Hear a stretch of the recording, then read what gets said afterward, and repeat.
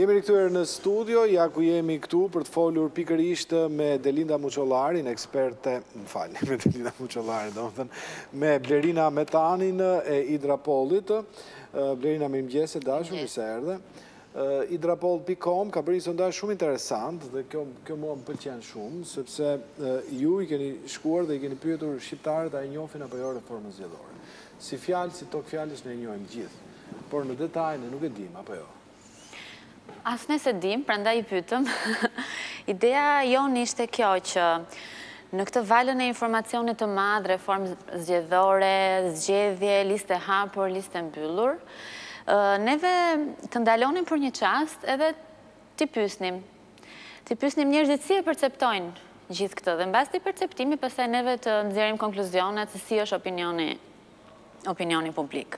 Kështu që neve shfrytëzuam komunitetin tonë online, ne preferojmë t'i themi komunitet, ku secili i regjistruar është i lirë të shprehë mendimin e tij, pra ne kemi rreth 3000 të regjistruar në këtë panel online. ku me thënë të drejtën në këtë kohë pandemie ka funksionuar shumë, pra njerëzit aty shprehen për mendimet e tyre, dhe bazuar në një kampion afërsisht një mijë persona, pak më shumë, i cili është përfaqësues në aspektet demografike, pra gjini dhe moshë, si dhe në shtrirje gjeografike, kanë dalë konkluzionet e kësaj mini ankete. Përpara se dalim te konkluzionet e këtij hulumtimi, ju keni shfrytëzuar një metodologji statistikore të mirëfilltë. Pra keni zgjedhur një kampion grup në bazë të shtrirjes gjeografike, moshës, gjinisë. Apo jo?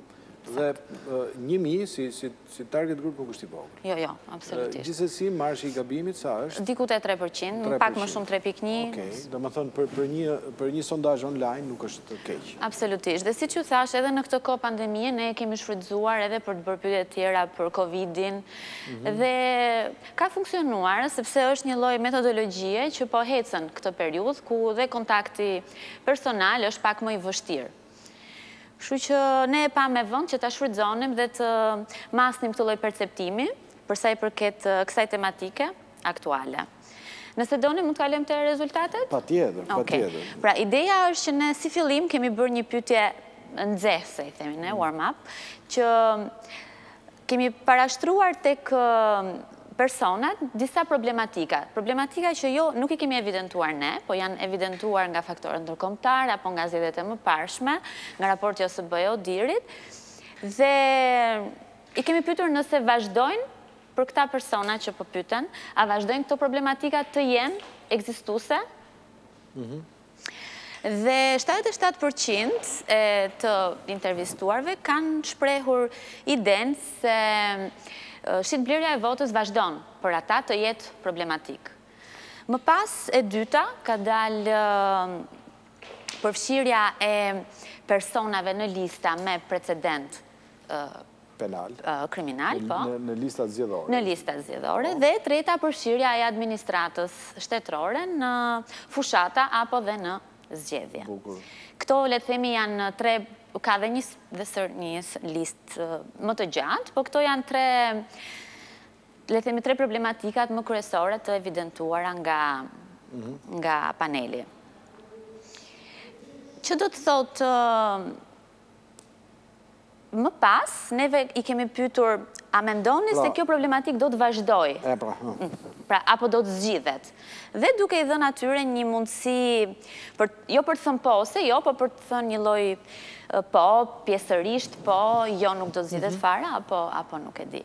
Dhe duket që në të gjithë problematikat, diku te dyzet përqind, e individëve, për të gjithë listën mendojnë që që nuk do të zgjidhet. Pra, mënyra e zgjidhjes ose jo të problematikës nuk varet shumë nga problematika në vetvete se sa varet besoj unë nga nga besimi që ato kanë pra, në gjithë sistemin. 40% vazhdojnë të mendojnë që do ketë prapë të fortë nëpër lista dhe do të manipulohen zgjedhjet.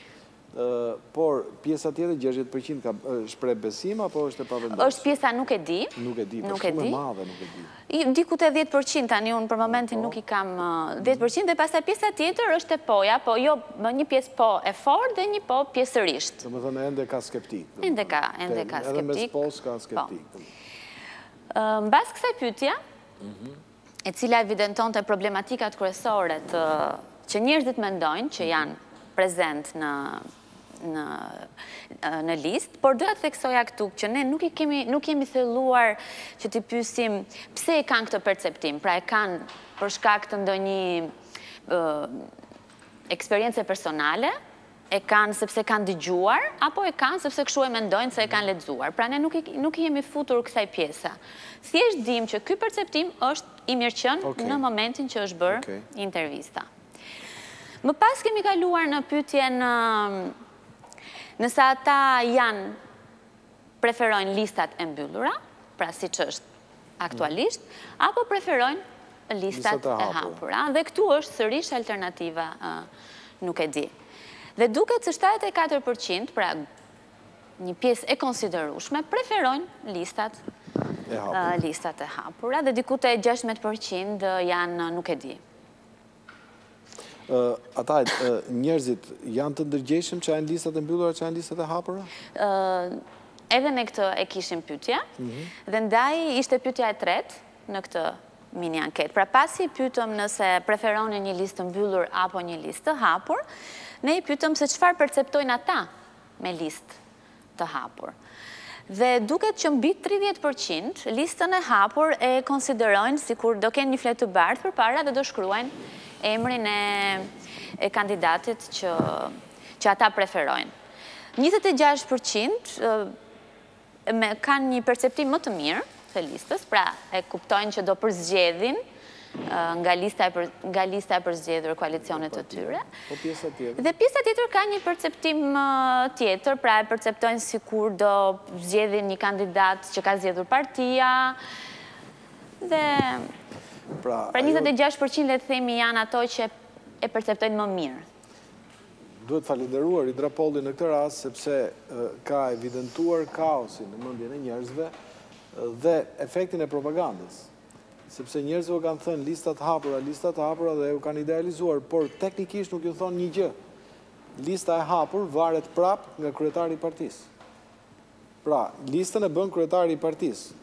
Dhe një kryetar partie që do të marri pushtetin, as s'i intereson në fund fare kush është i pari, i dyti, i treti. Atij i intereson pushteti, që qeverinë e bën vetë ai. Prandaj, lista e hapur në këtë rast nuk merr ndonjë vlerë, e para. E dyta, në këtë listë do shihni çudira kur brenda listës kandidatët vjedhin njëri-tjetrin, pra brenda listës PS-së, të fortët e PS-së do të vjedhin ata që janë intelektualët, ata që aspirojnë listat e hapura. Dhe të fortët e PD-së e njëjta gjë. Dhe e treta, që është akoma edhe më e rëndësishme, është që kur të shkojmë në zgjedhje, do kemi një vandak me letra, ku çdo çdo kandidat do ketë një numër dhe nuk do na bëjnë fushatë elektorale, të na shpjegojnë programet e partisë, si do jetë e ardhmja jonë etj etj, po do na vinë tek dera e shtëpisë dhe do na thonë do më votosh mua se jam tridhjetë e shtatë-a, do më votosh mua se jam njëzet e dy-shi. Dhe duhet të mbani mend numrin e atij që do ta votoni. Dhe do të shkoni me një vandak me letra. Dhe pastaj procesi i numërimit dhe procesi i votimit do të jetë një kaos i tmerrshëm sepse ka propagandistë që duan listat e hapura, dhe kjo është një Ta futësh Shqipërinë në në një proces idiot. Minimumi idiot. Por mbi të gjitha mos t'ia shpjegosh. Shpjegoja njerëzve çfarë janë listat e hapura, sepse dalin këto të dhëna që del IDRA Polli.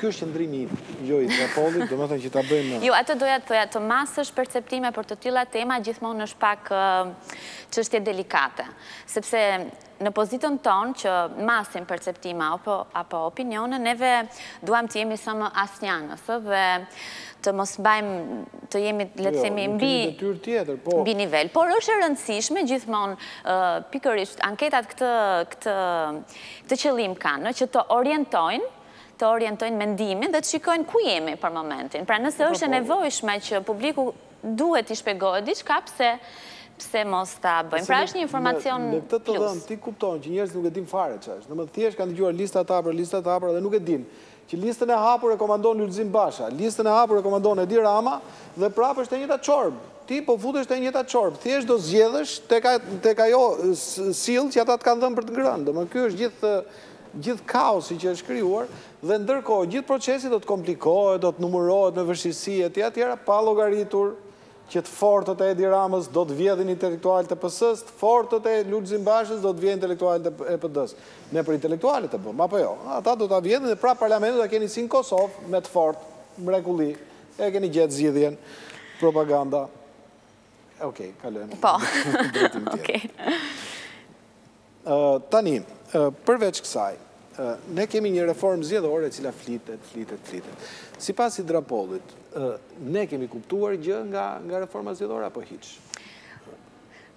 Për momentin, këto janë tre pyetje që ne kemi shtruar mhm. te publiku. Pra këto janë tre pytje bazike? Tre pytje bazike, sepse edhe metodologia që aplikohet, gjithmonë kur ti aplikon metodologji me internet apo me telefon, pra që nuk e kanë qasjen fizike, minutazhi që duhet të harxhohet është më i vogël, sepse dhe njerëzit lodhen, mërziten. Kështu që ashtu si thatë dhe juve, ne këto konsideruam si pyetje bazike që për momentin mund të orientojmë mhm. or, idetë se ku jemi, ku jemi aktualisht. Mendon që me kaq njohuri që sa kemi ne për reformën në drejtësi, dhe më ne mund të dalim banë? Unë personalisht. Për reformën zgjedhore. Nuk e di duhet të bëjmë një anketë tjetër te paneli. Por që kjo është situata me çfarë mund të them. Ajo që unë vë re është që 74% është një përqindje shumë e lartë, dhe nga ana tjetër ashtu siç thatë dhe juve, edhe pse kjo është e lartë, njerëzit nga ana tjetër nuk e njohin. Kështu që unë si analiste të dhëna shoh që njerëzit ndoshta kanë nevojë për një ndryshim që as ata vetë nuk e kuptojnë se ç'a është. Pra thjesht duan duan diçka ndryshe nga ajo që është aktualisht. Unë si Analiste të dhënash, pa iu futur fare debatit politik, të cilin as nuk e njoh dhe nuk marr përsipër ta. Jo. Por që kjo është ideja, pra nuk mund ta neglizhojmë as 74%, po nga ana tjetër nuk mund të neglizhojmë dhe faktin që vetëm 26% kanë një koncept të mirëditur për këtë. Mënyra në këtë rast është shumë e thjeshtë, domethënë listën e 100 personave Do ta do ta shkruaj nga njëshi deri te njëqinda Edi Rama. Dhe ti do zgjedhësh te këta njëqind persona që ai të ka dhënë. Dhe mënyra e zgjedhjes është se ti është si në këshillin bashkiak, do zgjedhësh ti X-in, Y-in apo Z-ën.